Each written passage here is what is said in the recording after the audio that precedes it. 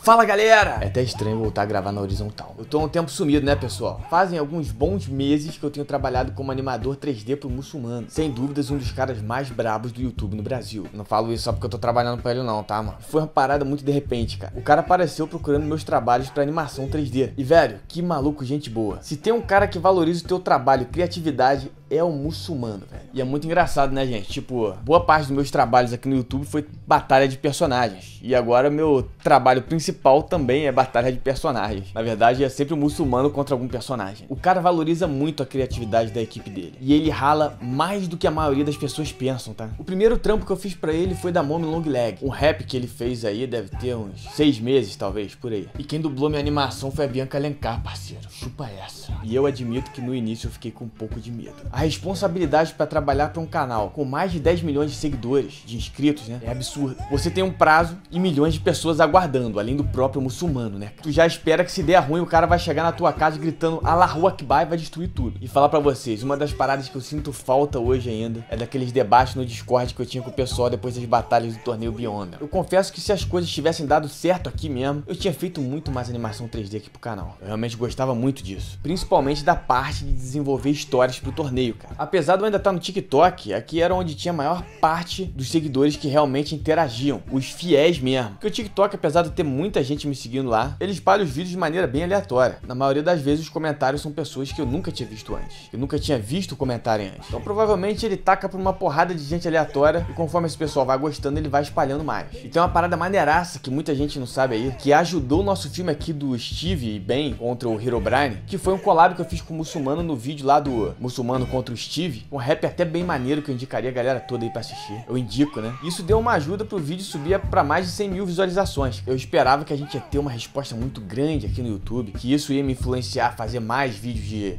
histórias com animação 3D. Mas assim, apesar de ter passado das 100 mil, a parada futuramente não se tornou muito orgânica, né, cara? Na verdade, não teve quase nenhuma influência orgânica no filme. Assim, se fosse um vídeo fácil de fazer, seria excelente, cara. Seria maravilhoso. Mas, pô, aquele filme vocês sabem que eu demorei 10 meses pra fazer, velho. Lá no Discord eu ia todo dia postando o que, que eu fiz. Cada avanço do dia eu postava lá. E quem quiser saber as batalhas que eu editei pro muçulmano, eu vou passar algumas aqui. Mas as minhas favoritas foram a da Mommy Long Leg, a do Sik do Doors, que eles quiseram que fosse um personagem mais malandrão, com um jeito mais largado. Pô, eu adorei fazer esse personagem. Eu mexi um pouco com fluidos, que é o caso da lama que sai dele quando ele, quando ele sai do chão, né? E outro que eu curti pra caramba foi o Red, cara, do Rainbow Friends. Esse ficou bem legal, gente. E é uma parada absurda, porque eu tenho que editar essas animações em praticamente uma semana. Então eu tenho que ser bem rápido com isso. Senão dá ruim, mano. A da Mommy foi a que eu mais gostei porque eu tive mais tempo pra fazer, né? Então eu pude inventar várias paradas diferentes. Agora, nesses últimos tempos, eu tive pensando numa parada que eu vou até mostrar aqui pra vocês. Quase que eu soltei. Eu cheguei a gravar um vídeo, ficou bem longo, mas ficou um pouco complicado, foi difícil de gravar e jogar ao mesmo tempo. Então, tipo, eu tentei criar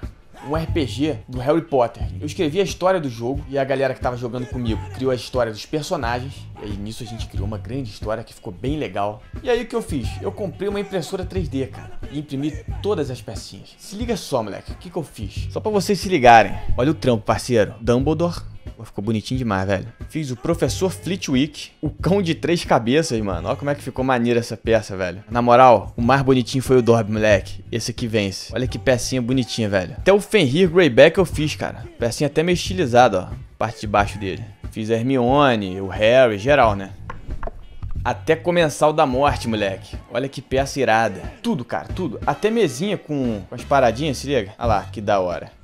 Aqui nessa caixa tem todas as peças, cara. Pra vocês terem ideia, até carimbo eu fiz. E pra quê? Só pra fazer aquelas cartinhas com vela carimbada, velho. Com a, o símbolo de Hogwarts. E tipo, ficou bem maneiro. Eu peguei essa parada de voz é, de inteligência artificial, né? Transformo minha voz de outros personagens. E realmente pensei em fazer uma história ali e ir contando pra galera com as peças. Até os mapas eu imprimi. Mas enfim, é uma parada que eu tenho pensado. Porque você vê algo dando resultado, igual as animações no canal do muçulmano, eu sei que não é fruto do meu trabalho, é do trabalho do muçulmano, mas só de eu animar a parada e ver que toda semana tá no em alta. O vídeo da Mommy Long Leg, por exemplo, ficou em quarto lugar no em alta. Ver resultado é bom demais, parceiro. Eu ainda tenho pensado em algumas ideias que podem fluir. E tô pensando direto aqui no que poder fazer para ficar maneiro aqui no canal. Algo que eu possa explorar bem as histórias, podendo trazer uma imersão maneiraça aqui para vocês, igual eu fazia, por exemplo, com o torneio Beyonder. Então é isso, galera. Hoje eu vim só para dar aquela explicação para vocês desse meu sumiço dizer o que eu tenho feito, que realmente eu tenho vontade de voltar aqui. E com certeza eu aguardo vocês no próximo vídeo.